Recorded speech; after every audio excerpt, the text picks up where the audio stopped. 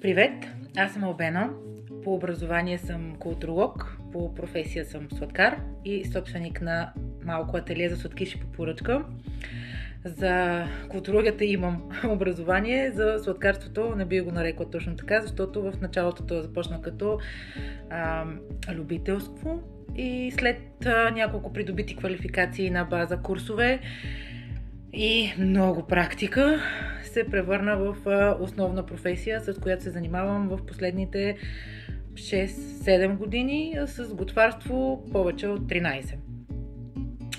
А, нямам, както казах, специално образование от техникум или а, университет. За това а, всичко, което съм научила, се е случило в а, ресторантите и хотелите, в които съм работила. И като цяло точно там съм придобила и основните характеристики, които най-накрая освоих, защото ми трябваше повече време. А, най-важното в нашата професия е търпението и търпението и търпението. Защото а, сладкарството е м, професия и процес, който не може да изпуснеш абсолютно нито един а, етап от самото действие. Така да го кажем, не можеш да го претупаш, не можеш да го забързаш, не можеш да накараш блатовете да се изпекат по-бързо, нито да изтинат по-бързо, а, защото рискуваш крайния резултат. Така че а, в нашата професия най-важното нещо е да имаш много голямо търпение, за да можеш да изчакаш всички тези етапи един по един, за да видиш крайния резултат. Опитвайки се да избързаш, обикновено оставаш разочарован от това, което получаваш.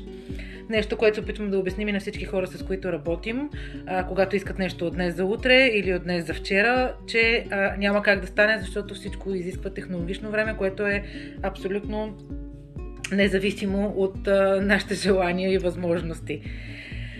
Другото, което е много важно да притежаваш в нашата професия е любов към това, което правиш. Знам, че звучи много изтъркано, като абсолютно клише, но просто е абсолютно невъзможно да приготвяш храна без да я обичаш и без да обичаш да хапваш без да я опитваш и без да ти харесва това, което правиш. В смисъл, машиналното изготвяне на сладкиши е нещо, което според мен просто няма как да се случи. Може би някъде се случва, но аз ти мисля, че би имало отражение върху крайния резултат. А, от моята професия, това, което най-много ме кара да, да се радвам, да бъда щастлива и ме удовлетворява, е най-малкото факта, че присъстваме на най-хубавите моменти в, в човешкия живот. Ние сме там, когато хората празнуват рождените дни, появата на новите членове на семейството им, сватбите, годишнините, дори най-обикновените срещи с хора, които не си виждал отдавна и просто си взел торта или сладкиш, за да ги изненадаш. Общо взето, това, което ние сладкарите правим, е това, което присъства на всички най-хубави моменти в човешкия живот. Дори само когато някой иска да се поглези а, и да си вземе нещо за себе си, това го прави супер щастлив. А, реално и ние сме помогнали за това нещо, така че това е най-голямата удовлетвореност. Също така детските писъци, когато си видят тортите, малчовците, това е безценно, абсолютно.